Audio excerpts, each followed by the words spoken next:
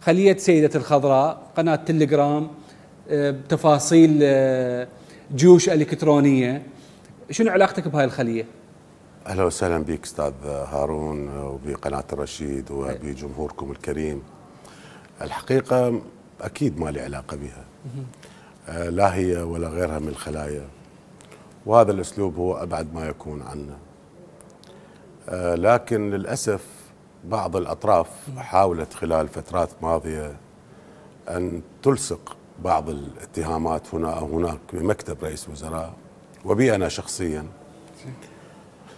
والحمد لله القضاء العراقي هو اللي كشف هذه الخلية وهو اللي فضح المسؤولين عنها. وللأسف المسؤولين عنها سياسيين كبار يفترض أن يكونوا يتحملون المسؤولية ويفترض أنهم في فترة من الفترات كانوا آه، في مستوى عالي من المسؤولية وسلطة القرار لديهم مؤثرة في كل العراق. ومع هذا يلجؤون إلى هذا النوع من الألاعيب. و يعني شيء مؤسف حقيقة. يعني هسه هذا ثبت. التحقيقات كانت واضحة. انتماء طبعا. هذه الخلية إلى طبعا انتماء الخلية هذه الخلية إلى مجموعة من السياسيين آه، حاولوا بشكل أو آخر أن يوحوا بأنها آه، آه، هذه الخلية قريبة من مكتب رئيس وزراء.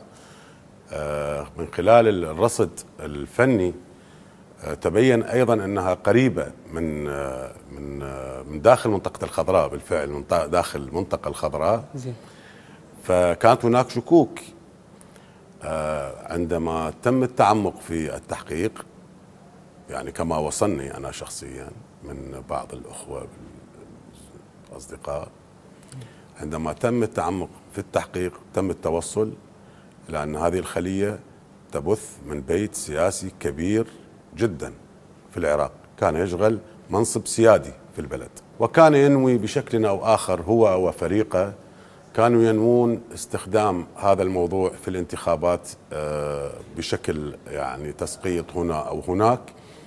وكل بثهم كان يبدو أنه آه، يحمل بعد ما يدعم الحكومة ولكن كل هذا كانت أكاذيب. لا جيد خليني أوقف عند هاي القضية.